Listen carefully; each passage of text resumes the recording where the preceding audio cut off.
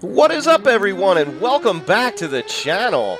On today's episode, we're going to be going over a little more on the G1000 NXI, but more importantly, we're going to talk about how to enter a flight plan into the GPS.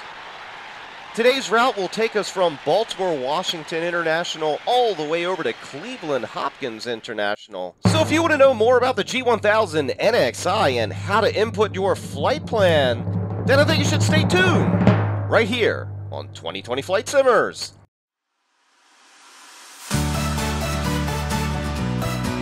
All right, everyone, welcome back to the cockpit of the beautiful Bonanza, where we're going to be going over the G1000 and entering our flight plan into the GPS. So let's hop on right down into it. Oh, and by the way, if this video does help you out in any way, a thumbs up to the video would be greatly appreciated. And if you are new to the channel, I'd love to welcome you. Highly suggest you go down below and hit that subscribe and tick that little bell because you don't want to miss any future videos like this one. If anybody has any questions along the way, please post them down below and I will get right to you. So the first thing we need to do is smash on that flight plan button and it'll bring up our empty flight plan. So to get our cursor to populate here on the screen, all you need to do is smash in on the inner FMS knob. Then you're going to use the outer knob to scroll down to that very first block thingy there. And then we're going to roll that inner knob to the right or left. I don't really think it matters. And then it will bring you up another little menu. Now from this menu, we don't need to really use this knob anymore. All we need to do is tap on this little button here. And that is actually a keyboard icon if we can get it to work. So we're going to enter our departure airport here at KBWI International. Hit enter to accept, and then we can also enter a runway. If you know the runway you're going to be exiting on, you can do that right here. We'll go ahead and enter 15 left, hit enter, and then enter to accept again, and there we go. Next, what we're going to do is scroll down to our destination airport. Again, we're going to roll on that center knob. Try to click on that keyboard button if you can. When you do, it's going to light up in blue, and then we can enter our arrival airport. Next, we're going to go hit the enter button, and then we are going to enter the runway that we're going to be coming in on, and that's going to be 24 left. So once we scroll down to that, hit enter, enter again, and there we go. Now we have our origin airport and our destination airport in. Now we just need to enter everything in between. Alright, so now that we have our origin and destination airport input into the FMS, you're going to see right here that it's now highlighting over the en route icon. Now, what I like to do first is start everything from the beginning and finish at the end. So I'm going to start with my departure procedures first and all you need to do is to go down here and hit that procedure button. When you do, it's going to bring up your procedure menu. Go down and highlight departure. Hit on the enter button and now you can highlight whatever departure you're going to be on for today. Now we're going to be using the TERP 27. So we just go down to the TERP 27, highlight that, hit enter, and it will now populate us to the next menu, which is the runway. Now again, I, I said that we're going to be using runway 15 left, so we're just going to highlight 15 left, hit enter again, and now it's going to ask for the transition. On this particular route, we're going to be taking the JERES transition. So all we need to do is scroll down there, hit the enter button, and there you go.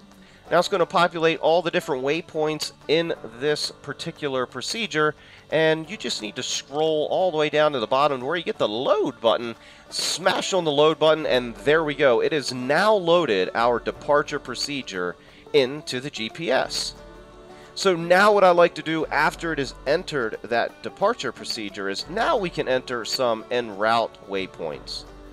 So we need to get our cursor back on the screen here. So we're going to tap on that center knob and then scroll down with the outer knob. Once you get to the en route, we can roll that inner knob again and then enter our next waypoint. This is only going to be good if you're going to be taking a direct path from your last waypoint. So as you can see at JERES, if we were going to be going directly to our next waypoint, then we could go ahead and add that waypoint in here. In this situation for today, we are not going to be going direct to a waypoint, but we're going to be hopping on the J211 airway. So we just hit the clear button to get rid of that, and while we're still highlighting over this little en route area here, if you smash on the menu button, you will see load airway will populate. Now all we need to do is hit the enter button and now we can enter the airway that we wanted to jump on from the JERES waypoint. Now that airway again was the J211 which is already at number one so all we need to do now is hit the enter button and it will now populate that JERES airway. Now it's going to ask for an exit waypoint off of that airway. To scroll through the waypoints, all you need to do is roll on that inner knob, and now you can see all the different waypoints that you can exit along this airway path. The waypoint we're going to use today is the JST waypoint, so we just need to go right up here, highlight it, hit the enter button, and there you go. Now you can see all the different waypoints along this airway that we're going to be following. And again, all you need to do is roll down on that outer knob down to the load button, hit the enter, and ba-bam! It is now in our FMS. So now what we need to do again is get that cursor to populate. We're going to smash on that center knob and then use the outer knob to scroll down to the en route again. And we're going to be going direct to our next waypoint, which is going to be UPPRR. So once we highlight that, all we need to do is roll on that inner knob, click on that keyboard icon, and then type in UPPRR, and it will now bring up that waypoint. Alright, so now that we have got that last waypoint entered, now we're going to enter our arrival procedures following our approach procedures. Now to do that is very simple. All you need to do is hit on the uh, procedure button and then it will bring up your approach, arrival, or departure. Again, we are going to select arrival and then hit the enter button. The arrival we're going to be coming in on today is the TRY arrival. So we're just going to use our inner knob to scroll down to that, hit the enter button, and now we're going to enter the runway of 24 left is what we're going to be using for today. Again, use that inner scroll knob down to 24 left, smash on the enter button, and now it's going to ask for the transition. Now the transition for this arrival is going to be the UPPRR transition. So as you can see, we entered that UPPRR already in the en route portion here, and we're going to show you how to take care of that after this. So once you scroll down to the UPPRR, hit the enter button, it will then bring you up all of the different waypoints along that path.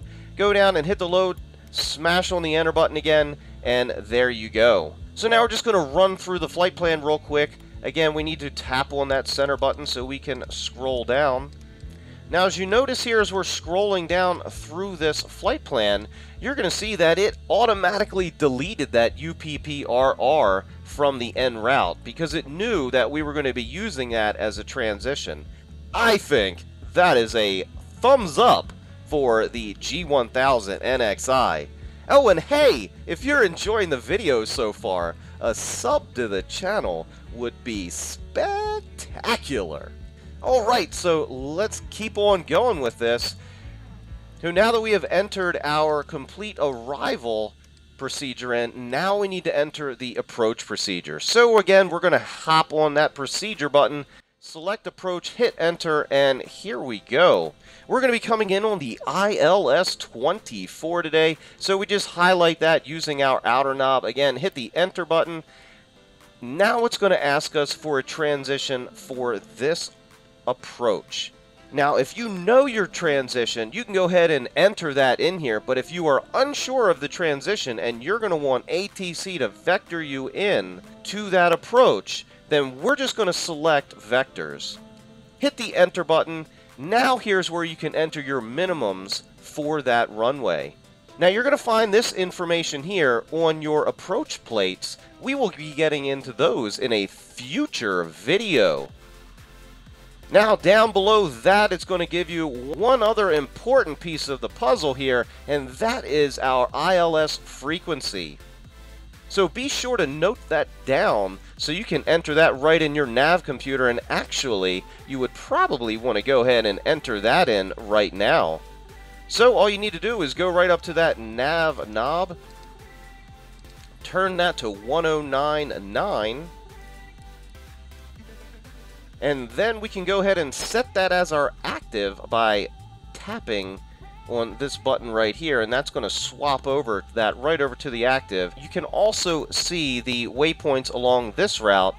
Now you're going to go down to the bottom, and it's going to give you two different options for this one. You do not want to hit activate, you want to hit the load button. If you hit the activate button, it's going to activate that particular leg of the route. We are not there yet to activate that leg, so we do not want to activate that leg. Once you highlight the load, smash on the enter button. This route is not approved for GPS guidance. Now what that means is because we're going to be using an ILS, the GPS is not going to be navigating us in to this airport. So it is just letting us know that we know that. So all you got to do is hit on that enter button over the yes, and there you go. Now these altitudes are very useful when we are coming in on our approach and we're using the VNAV function of the G1000 NXI. Oh, and by the way, if you haven't seen how the VNAV works on the G1000, I will go ahead and post a link down to our VNAV approach that we've already done. So if you haven't seen that, go down below and check it out. Alright folks, I think that is it for today. As you can see, it's really not that difficult to enter that information into the GPS unit. Again, if anybody has any questions, please go ahead and post those down below in the comments. If you haven't done so already, hit that subscribe and tick that little bell. And while you're down there, smash that thumbs up button. I want to thank everybody for joining us on the video today. I hope everybody got a lot of information out of it. And to all of my flight simmers around the world, keep the blue side up. We will see you on the next one. Thanks for watching, everybody.